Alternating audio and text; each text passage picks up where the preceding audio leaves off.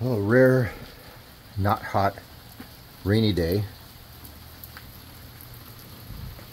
Kind of a line of projects, but this one, it's never done, but it's kind of done. But it's parked downhill because the sunroof fills with water on rainy days otherwise, which is a new development. So I drove it and water gushed everywhere.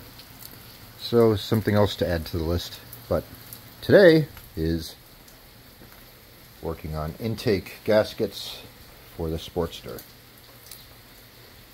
And then there's some kind of funky driveline noise going on here. So, yep, always always a thing. There's always something to be working on, which isn't a bad thing.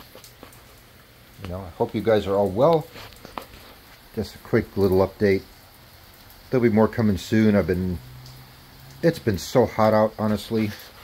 Let's go into it. In California, it's been so hot out that yeah, being out in the garage has not been super enjoyable. So I haven't been doing as much out here and not as much to share, and not as much content. Even going out camping and stuff. Like, who wants to sleep in the woods when it's 100 degrees plus, you know?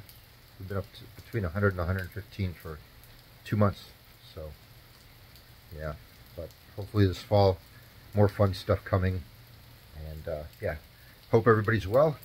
Let me know below how life is treating you, and that's kind of a, a quick quick garage summary for the moment. And um, hopefully, as the weather cools, we'll get a little bit more outdoor fun happening, and so, fewer projects, more outdoor stuff. All right, see you guys later.